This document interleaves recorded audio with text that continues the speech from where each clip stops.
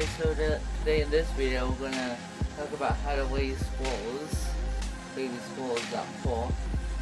And I've actually had, I have, had about like seven, but currently I'm only at four.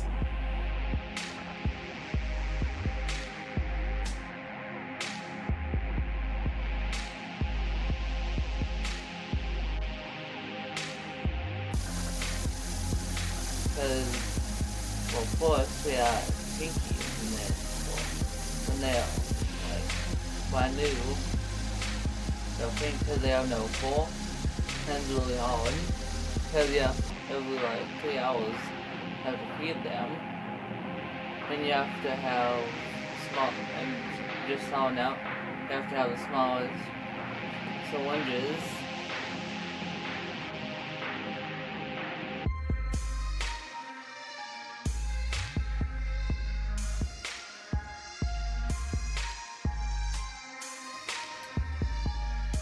And the ingredients to the formula is down below what here in the column.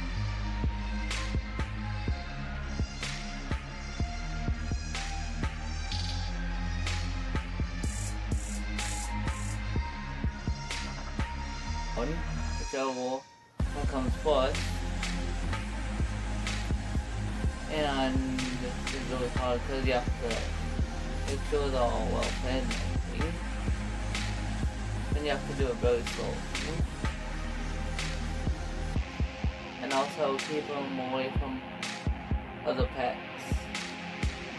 If you if you have like if you can handle energetic animals, then these are perfect animals for you. And if you're an new or someone that word a lot, this is a really good uh, video for you to learn how to take care of them. And the other, and the next few videos will be about how to take care of them when they go older.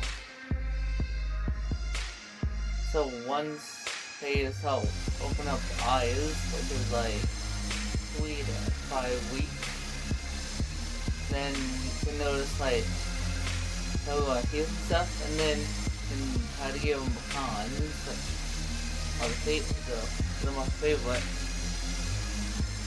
the favorite of them. They basically what we yeah, okay.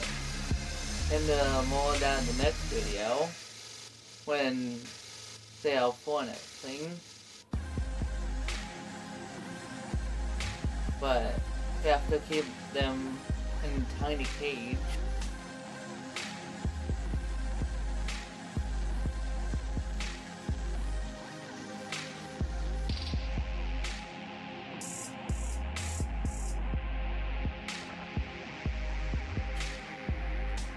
Well, you can get it, but well, the other animals, if you have cat or dog, or if you have other things that can get them.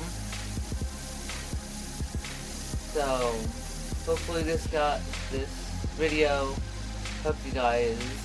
In the next video, I'll get more precise about what about the precise things. Alright, bye guys, you.